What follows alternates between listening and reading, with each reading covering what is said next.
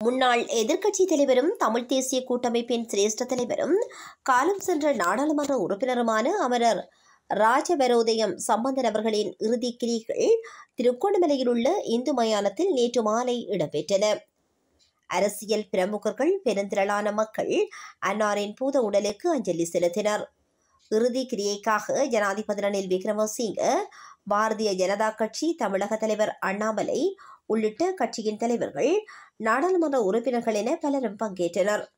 பலத்த பாதுகாப்பு பலப்படுத்தப்பட்டு திருகோணமலை நகர் முழுவதும் ஆழ்ந்த இரங்கல் தெரிவித்து அமரர் இரா சம்பந்தனின் உருவப்படம் பொறித்து தொங்கவிடப்பட்டுள்ளது இந்நிலையில் தென்னிலங்கையைச் சேர்ந்த அரசியல் பிரமுகர்கள் வடக்கு கிழக்கு வலையகத்தைச் சேர்ந்த மக்கள் பிரதிநிதிகள் என பலரும் இந்நிகழ்வில் கலந்து கொண்டனர்.